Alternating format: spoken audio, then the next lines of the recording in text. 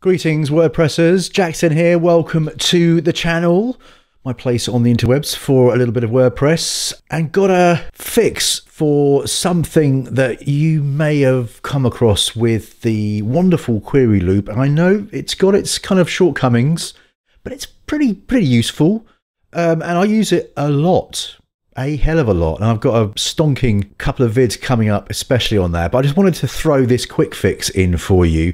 If you have been putting together a grid of posts and you wanted to create a background and you will notice immediately that the columns are not indeed the same size. It's just the way that the CSS is rendered in in the back end. They kind of technically are, but anyway, that's that's a it's a boring story. So here's a quick fix. If you want equal height columns for your query loop,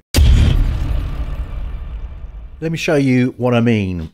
Right, so got a 2024 fresh install pretty much uh, nothing going on let's go to our pages so we'll add a new page and we'll not going to be using a pattern in this example we're going to be starting from scratch calling this equal height columns. Now in here we're going to put a group and its content will also be wide width as well.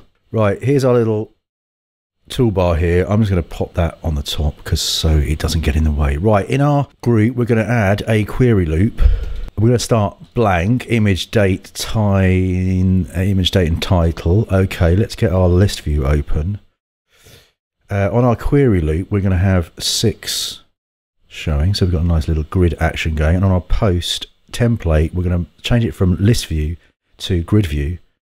And there's our nice little grids. When you edit the first one, the, the post template, now when you edit the post template, you can do all sorts of normal stuff like put a background on it, a green background. Hmm, okay, that's not looking like it's, it's going to make any sense. Let's get the block spacing no, it's actually put a background on the entire thing, which is pretty rubbish. It's not what we want. So let's get rid of that, clear that down.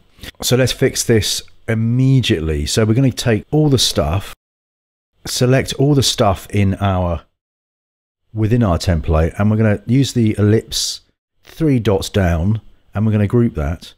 And now we can put a background on the group. Let's get that background on the group.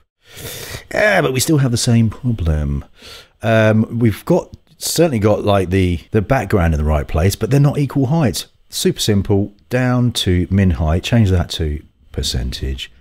100% and shazam we have got our equal height columns now obviously we would do a little tweaking of the styles and all that border radius put the bottom at zero overrides the theme. On the group itself, we add our border radius of 20 overall. That's looking a bit better. Now we've got the featured image, which is doing its thing. If we just group these two together, and let's change the spacing to nothing, but let's have a little left and a little top and bottom looking pretty cool. I think you could probably see where we're going with this, but essentially, we would muck about until we're happy with how it looks. Publish that up and copy that. Let's go have a look at the front end.